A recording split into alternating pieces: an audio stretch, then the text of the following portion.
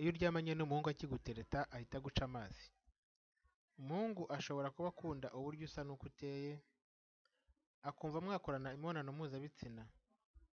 Igihe umaze kumwemerera ko ibyo yifuza bigeraho azahita yumva ko yagufashe kandi nta kintu kigomba kwiyongeraho uretse kuryamana nawe gusa. Nuramuka rero utangiye kugenda ugabanya uburyo wamwitwaragaho uzabona umubano wanyu ugenda uyoyoka gahoro gahoro. Ukaba wumva rero ko nta mpamvu yo guhubukira kuba wahita uryamana n'umusore urimo kugutereta. Iyo wihutiye gukorana imibonano mpuzabitsina n'umuhungu urimo kugutereta ahita abona ko uri umuntu woroheje. Iyo umwemereye hakiri kare agaciro aguhaga kagenda gashira ndetse n'uburyo wakubahaga bikagenda bigabanuka.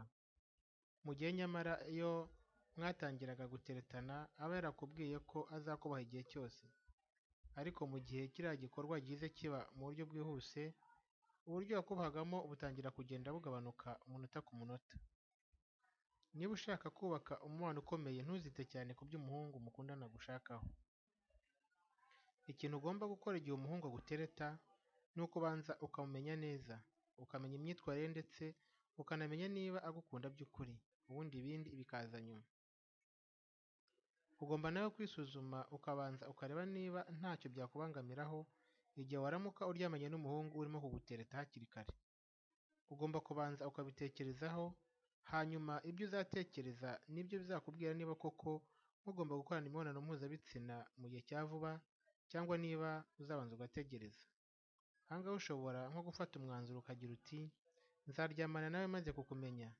Hashize amezi make hashize amezi make cyangwa se twaramaze kurushinga.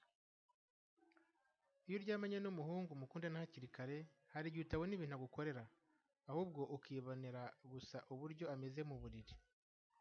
Iyo wihutiye gukorana imibonano mpuzabitsina n'umuhungu mugiteretana hari igihe uhita utangira guhindura uko wamubonaga.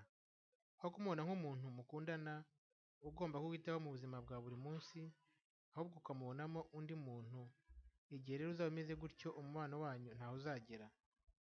Ibintu byo gukora imibonano mpuzabitsina si ibyo guhubukirwa ahubwo bisaba kubanza kwitonda ugashyiramo ubushishozi. Umusore nakubwira ko yumva igihe cyageze ngo muryamane wowe uzajye umwihorera. Ntiwite ku byo akubwira ahubwo nawe utekereze ufate icyemezo kikunyuze kuko kugendera ku byifuzo n'ibyiyumvo bye gusa bishobora kugukoresha ibintu udashaka. Iyi nkuru muyigejejweho na Bangambiki Habyarimana.